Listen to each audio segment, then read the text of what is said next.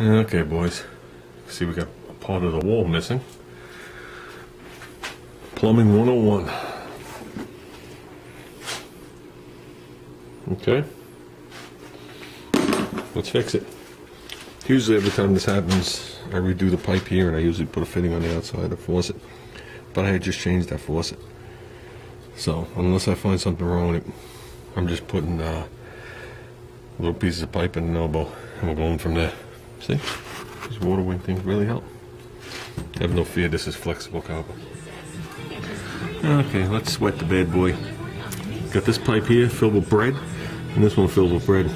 Get any residual water that's in it, so it doesn't get into your sweat joint. Let's get it done. There you go, clean.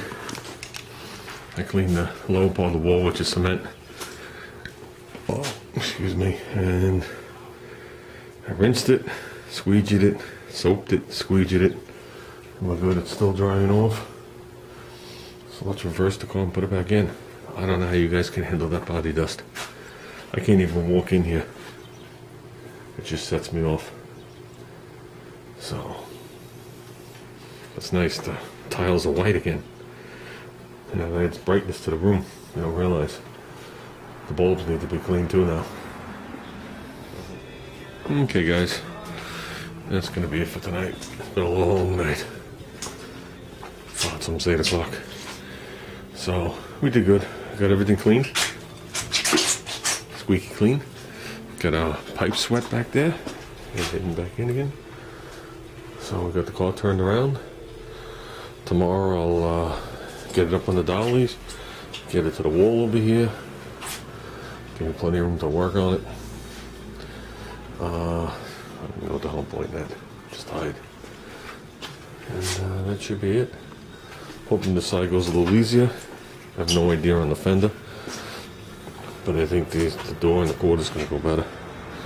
You can see the sanding marks across it. So I think we're going to land a lot better on this door. This we blocked out. Barely ever broke through anyway. And that's not even to steel.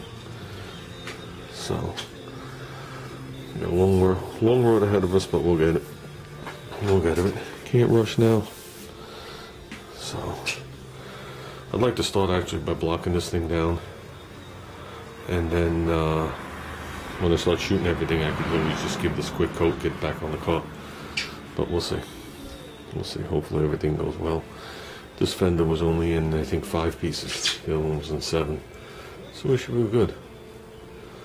It was one, two, three, four. Uh, only four pieces. This one was only four pieces. You see that fender comes out until you put the stay on it, and it goes where it has to go.